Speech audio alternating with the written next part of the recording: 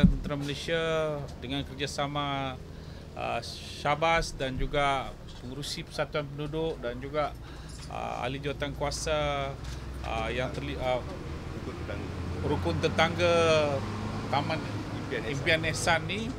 Uh, dan uh, kerja-kerja pengagihan uh, air ini telah pun uh, berjalan dengan lancar walaupun uh, uh, dalam masa terdekat ini akan ada kerja-kerja catuan yang akan dilaksanakan dan kita telah pun uh, uh, mengambil langkah-langkah perlu untuk menyediakan uh, uh, tanker uh, khususnya melalui Angkatan Tentera Malaysia uh, dan uh, untuk memberikan bantuan uh, di tempat-tempat yang terlibat yang saya dipahamkan melibatkan lebih kurang uh, 10,000 penduduk di kawasan ini. Sekarang ini kita akan menjadi dua dan kita akan tambah lagi satu hari ini kita akan ada tiga tank yang akan uh, digunakan bagi uh, kegunaan ini untuk menyediakan uh, bekalan-bekalan air di tempat-tempat uh, ni static tank yang telah pun disediakan di beberapa kawasan di kawasan penduduk ini.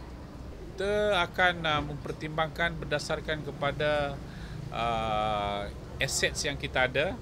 Uh, anggota tu kita tidak ada masalah kita mempunyai cukup banyak anggota cuma kita akan melihat dari segi aset kita tapi bagaimanapun kita akan cuba mengatasinya secepat mungkin kerana uh, sememangnya pun uh, Angkatan Tentera Malaysia sentiasa bersedia untuk menghadapi apa juga krisis uh, di dalam negara ini uh, khususnya di masa aman sebegini. Uh, setakat ini kita ada satu company berapa? 15 orang.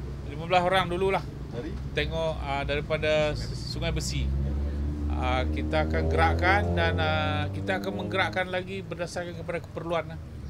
Jika ada keperluan, kita akan uh, tambah khususnya di kawasan-kawasan yang uh, ramai penduduk.